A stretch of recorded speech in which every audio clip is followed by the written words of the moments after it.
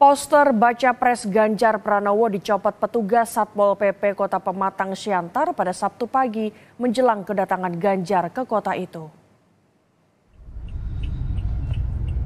Pelaksana harian Sekretaris Daerah Kota Pematang Siantar menyebut poster Ganjar dicopot karena berada di area larangan, seperti di area sekolah, area instansi pemerintah, dan di tiang lampu penerangan jalan.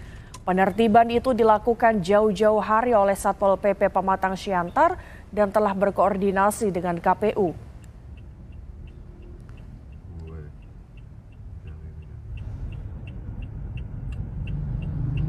Saya dapat informasi dari mereka bahwa uh, hal itu dilakukan karena mereka memasang di sekitar area sekolah dan instansi pemerintah dan tugas mereka bukan hanya hari ini aja bukan karena menjelang kedatangan Pak, Pak Ganjar bukan jauh hari sebelumnya mereka sudah tetap melakukan penertiban di tanda gambar di area-area yang memang jadi zona larangan di mana memang sebelumnya mereka telah berkoordinasi dengan KPU jauh hari sebelumnya dan kemarin dan mereka juga melalui Zoom informasinya tadi pada bulan Agustus kemarin sebelum masa kampanye Satpol PP memiliki kewenangan untuk melakukan penertiban.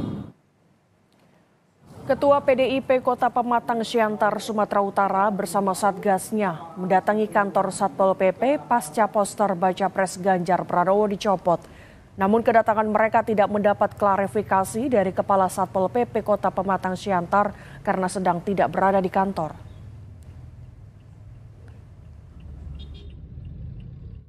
Tadi sudah kita coba sama-sama datang ke kantor Satpol bahwa dari pihak Satpol sudah mencoba menghubungi menghubungi oleh pimpinannya, namun jawabannya sebagaimana kita ketahui bahwa pimpinan mereka belum merespon. Bakal Capres Ganjar Pranowo tengah berada di kota Pematang Siantar. Ia menemui masyarakat dan tokoh adat. Saat ditanya soal pencopotan poster sebelum kedatangannya, Ganjar meminta wartawan untuk bertanya langsung ke Satpol PP. Dicopot Pak. Pak di center Pak, di, di center Pak, baliho Bapak dicopot sebelum kedatangan ini. Siapa yang nyapa? Satpol PP Pak. Satpol PP.